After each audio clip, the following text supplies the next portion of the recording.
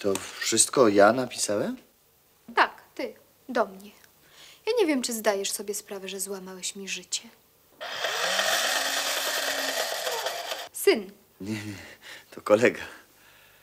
o, zawsze byłeś dziecinny i przez to wszystko się popsuło.